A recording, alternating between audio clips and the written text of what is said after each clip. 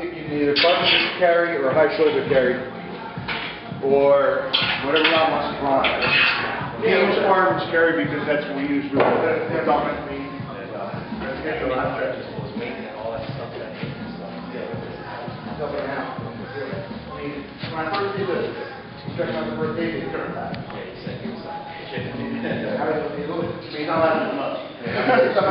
It's just, you can turn around and react to if you have to.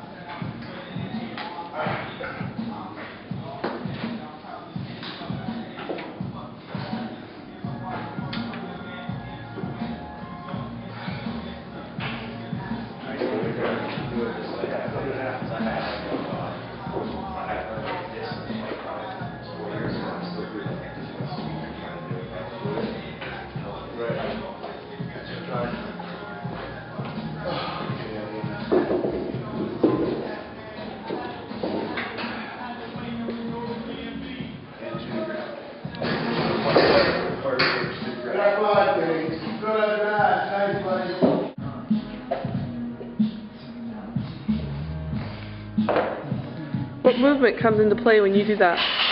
Is that what's that similar to? Picking that up. Stone, log, egg, here.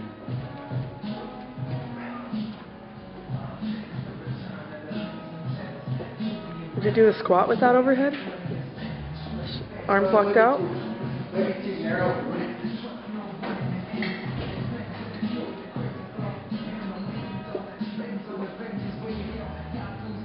Narrow.